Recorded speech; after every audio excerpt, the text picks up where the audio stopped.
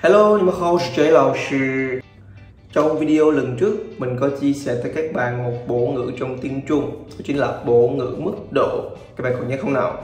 Cho nên hôm nay mình sẽ học tiếp một bộ ngữ mới Và cũng là bộ ngữ khá thông dụng trong tiếng Trung Chính là bộ ngữ kết quả.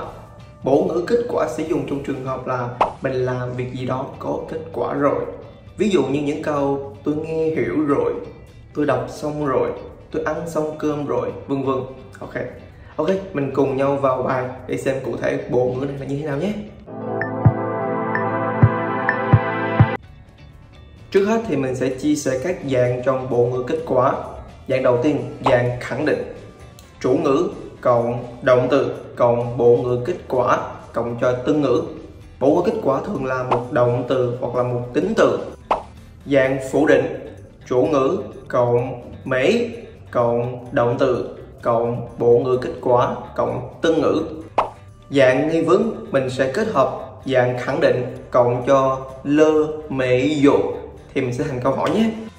Và các bộ ngữ kết quả mình thường gặp sẽ có tụng, hội, hoàn hảo, tạo, tự Dạng khẳng định chủ ngữ cộng động từ cộng bộ ngữ kết quả, cộng cho tương ngữ động từ cộng bộ ngữ kết quả to, làm được gì đó rồi.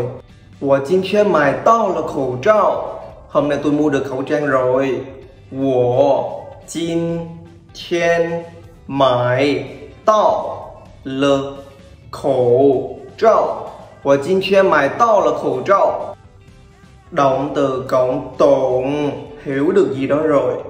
我听懂了他的意思 tôi nghe hiểu được ý của cô ấy rồi 我听懂了他的意思我听懂了他的意思 dạng phủ định chủ ngữ cộng mấy cộng động từ cộng bộ ngữ kết quả cộng cho tương ngữ động từ cộng diện nhìn thấy gì đó rồi thường kết hợp với chữ khan và chữ thiên 我没看见你的护照 tôi không nhìn thấy hộ chiếu của bạn 我没看见你的护照我没看见你的护照 động từ cộng quán làm xong gì đó rồi 我没看完这本书 tôi chưa xem xong cuốn sách này 我 没看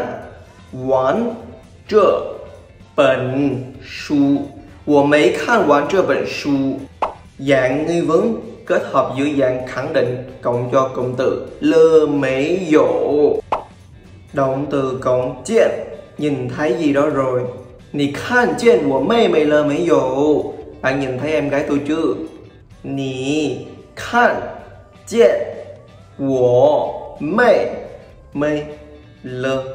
Mấy dụ Nì khan chuyện của mê mày là mấy dụ Động từ cộng hậu Làm xong gì đó rồi, hay là làm tốt gì đó rồi. Nì nung hậu là mấy dụ Bạn làm xong chưa?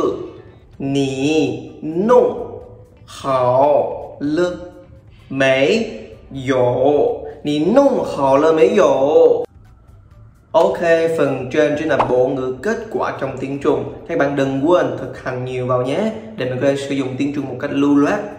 Và nếu các bạn có các chủ đề nào hay hơn thì hãy comment dưới video cho mình nhé. Ok, hôm nay mình đây là nhé. 再见